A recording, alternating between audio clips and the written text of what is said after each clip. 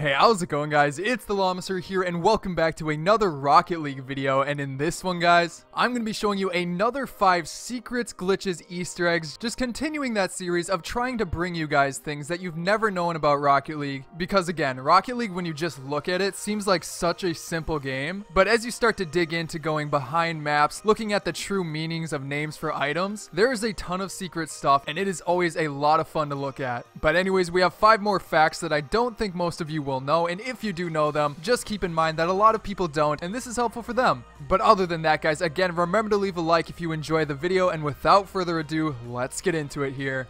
Alright guys, so starting this episode off strong, I have a very funny little secret fact. I'm honestly not sure what to call this one. It may be a glitch, but it is really weird, and I think I need your guys' help explaining why exactly this is. But anyways, for this fact, it actually occurs on a bunch of maps in Rocket League, and some of the maps you can do this on are ones like DFH Stadium, Beckwith Park, and even Mannfield Stadium. But anyways, if you want to see this little thing yourself, you just want to load up a private match or something and just jump right in, and then go straight to spectate so that you can roam around the map. Now once you are in that mode, simply go to either of the nets and you'll see these weird little lights on top of them. Now these of course are just there for aesthetic, but that's not the main thing we're looking at. The thing we want to take a look at is when you go inside the light.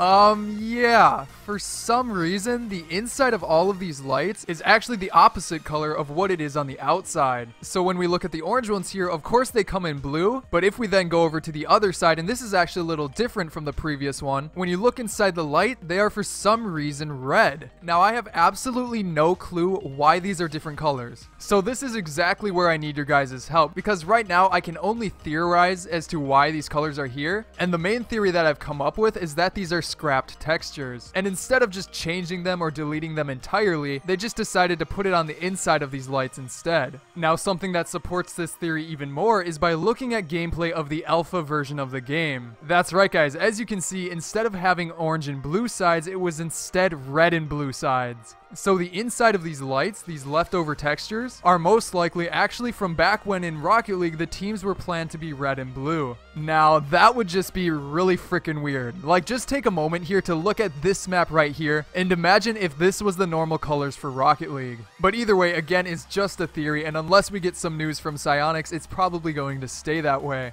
As for the next fact on this list, this one is a very, very funny glitch. Now, a bunch of people commented on my previous videos telling me about this glitch, and I've never known about it before then. And unfortunately, just too many people commented to just give one person credit, so thank you to those of you who brought this to my attention, because it is just a very funny, very random glitch. But anyways, to do this glitch, and it's a very simple one to do, like anybody can do this one. Even a freaking toddler could do this one, because literally all that you need to do is press a few buttons. But basically what you do do is just go into training and then go straight over to free play. Now, once it loads up, just freaking take a look at all the blank white textures. I mean, the sides are white, the lines on the ground are white, even the flags in the back have been turned white because, of course, this is free play. I mean, that's how it's meant to be. You're not supposed to be on any one side. However, there is a way to just completely mess this up entirely. Now, to do that, simply go into your options and then under gameplay, scroll all the way down to color blind mode and put that on. Now, already you can see the color colors appear on the left and right side, but if you turn that off and go all the way back here, yeah, you can turn the entire map back into its original colors. I mean, come on, that is just awesome. I know it's pointless, I know it doesn't get you freaking free keys or something like that,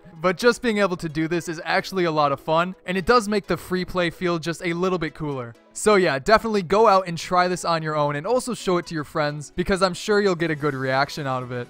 As for the third fact for this episode, I will say that this one is a little bit more obvious, but it is really cool and kind of a shocking one if you never knew about it. Now for this fact, instead of going on to Beckwith Park or something like that, you want to go to any of the variations of DFH Stadium. Now with this stadium, we've already talked about how cool it is, with the giant stands and how it makes you feel like you're in this super intense Rocket League game. But with those giant stands and all of the egg people that sit in them, did you know that they're actually floating in midair? Yeah, and that's not even all of it. Literally, the entire field is just floating there. I had absolutely no idea this was a thing. I mean, everything about this map is just made to look like it's on ground. You have these giant freaking skyscrapers in the background. I mean, of course you've got to be on the ground, right?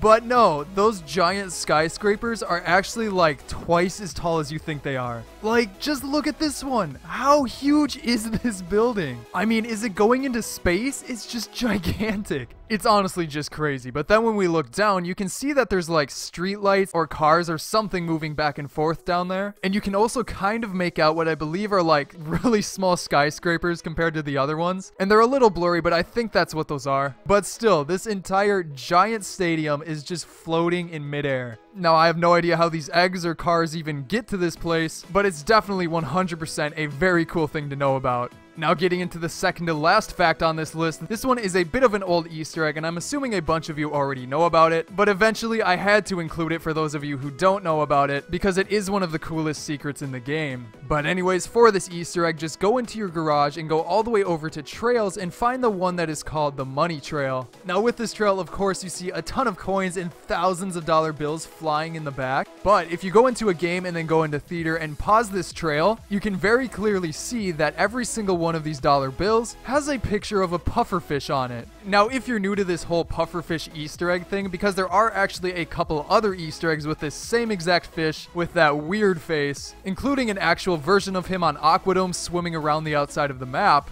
But basically what the pufferfish is, is a reference to a power-up that was in a game that Psyonix never released, but it essentially became the game's supersonic acrobatic rocket-powered battle cars, which was then the prequel to Rocket League as we know it. So yeah, I'm assuming this pufferfish was just like a favorite character or design, then overall it's very cool to see them bring it back in multiple ways, and this is definitely one of them, because if you never thought to pause this boost and just take a closer look at it, you would never know that this little easter egg is even there.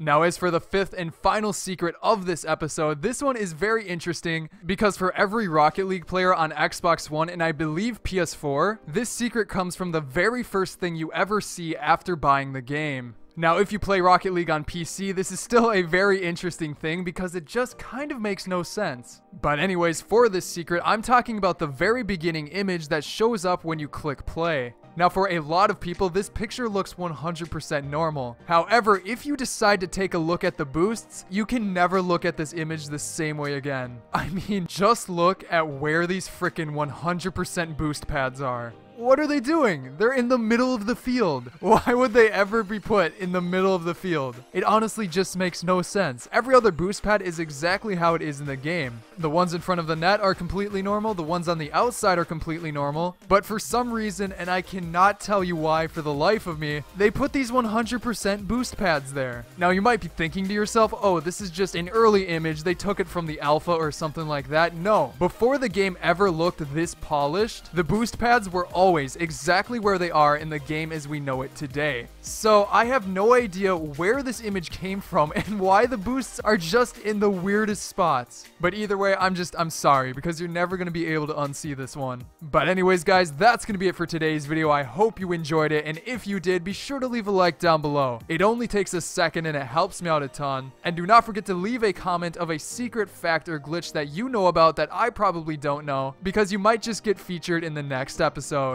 But other than that, guys, again, I hope you enjoyed today's video. I'm the LlamaSir, and I will see you guys next time.